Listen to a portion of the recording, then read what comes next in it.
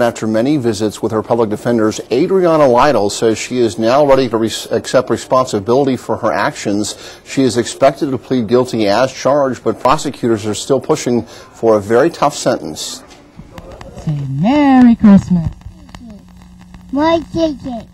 This home video was taken just three months before Summer Phelps died in a Spokane hospital.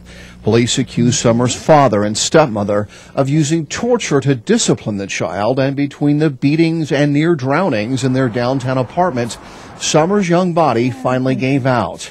Now Adriana Lytle is ready to be punished for her role in Summer's death. She uh, acts like she uh, uh, is remorseful for what happened. She has a, uh, a desire to uh, uh, set the record straight to some extent. Uh, uh, she wasn't the only one involved, but she certainly uh, is, is, is going to take responsibility for her actions in this particular case.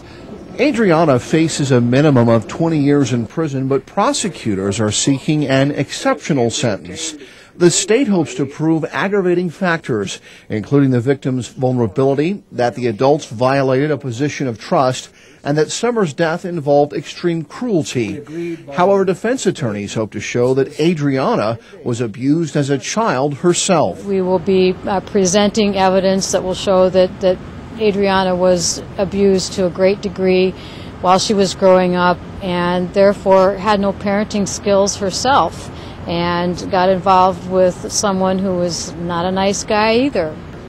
And Miss Nordvedt is talking about Jonathan Lytle, Adriana's husband. He is scheduled to stand trial October, but right now trying to mount a not guilty by reason of insanity defense. We'll show you what attorneys had to say about corporal punishment in this case. That story is coming up tonight only on KXLY 4 at 6.